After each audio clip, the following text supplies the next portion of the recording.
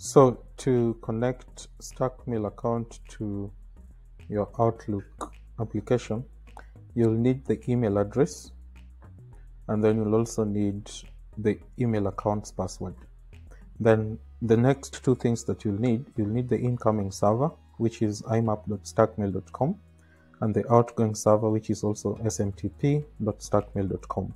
So once you have all those four, uh, go to your Outlook application and then click on the File tab, then look for Add Account.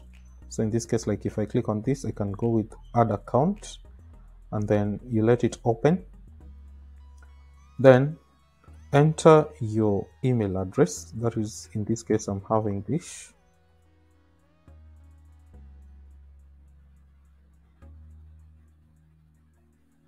Then click connect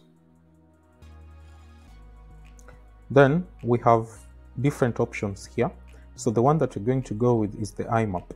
Click on IMAP and then uh, enter the incoming mail server, which is imap.stackmail.com and then the outgoing server is smtp.stackmail.com.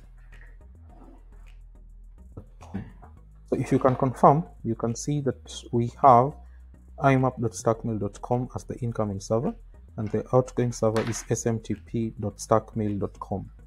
So once you have all those, uh, click on next and then enter your password, the email account's password. Then click connect and then let it uh, let it set up. Yes you can see that account successfully added.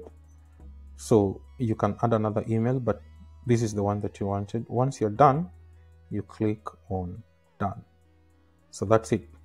So if you go to file and then under the accounts you select the one that you want you will be having it under I mean in the inbox so you'll be able to see exactly this. I mean yes. So you can go to file and then choose the email that you want to view. Like in this case this one here. And then that's it. That's how to connect Stackmail account to your Outlook application